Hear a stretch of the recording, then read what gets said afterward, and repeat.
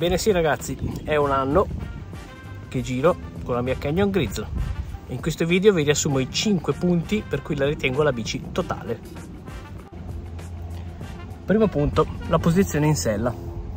Per come la vedo io, per il ciclismo che piace fare a me, è la posizione in sella perfetta perché è comodissima quando vai piano per fare tanti chilometri, ne ho fatti veramente tanti, nel senso di giri lunghi in giornata, anche stare in sella per 8-9 ore così, non ho mai avuto alcun problema. E poi se hai voglia di andare un po' forte basta che ti metti in presa bassa, ti abbassi un po' e comunque riesci a fare delle cose serie Ovviamente non è la bici per andare a 60 all'ora in pianura, quindi se quello è il vostro intento, non è la bici che fa per voi. Secondo punto, il cambio. Allora, rapportatura 46-30 davanti, 34-11 dietro. Capite da soli che hai, nella migliore delle ipotesi, un 30-34 che in salita ti aiuta tantissimo e se devi spingere un po' in, in pianura hai un 46-11 che comunque ti permette di fare delle velocità decenti, buone, molto buone. Ovviamente non è un 53-11 ma siamo sempre lì. Volere fare quelle cose lì non è la bici per quello. Terzo punto, telaio e peso.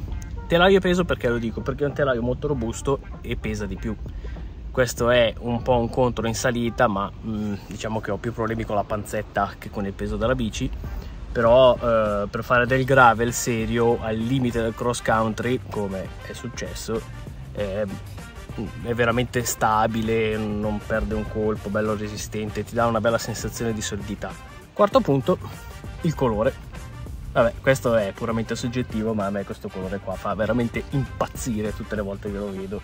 E non penso che riuscirò mai a liberarmene di questa bicicletta qua a meno che non ne fanno una più bella con lo stesso colore uguale. E comunque ormai si è sviluppato un tale rapporto affettivo che sarà comunque difficile liberarsene. Il colore. Guardate che spettacolo quinto ultimo punto è quello riassuntivo ed è il ciclismo perché questa bicicletta qua ti permette di fare il ciclismo quello che vuoi. Puoi andare in giro tranquillo come ho fatto oggi. Puoi andare a spingere forte se hai voglia di allenarti e puoi anche fare dello sterrato o delle cose un pochino più hard, sempre nei limiti della bicicletta. Quindi alla fine tanti dicono il gravel eh, è tutto e niente, ma è quello il bello del gravel, è che puoi fare tutto. E quindi questa è la bici per fare ciclismo in assoluto.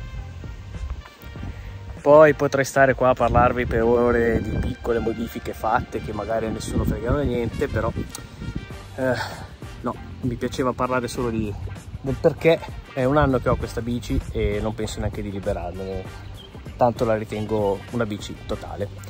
Quindi da Castiglione Olona è tutto e con terribile disappunto per chi non ha voglia di fare fatica è tempo di chiudere anche questo video e noi ci si vede poi ad una prossima puntata. Ciao!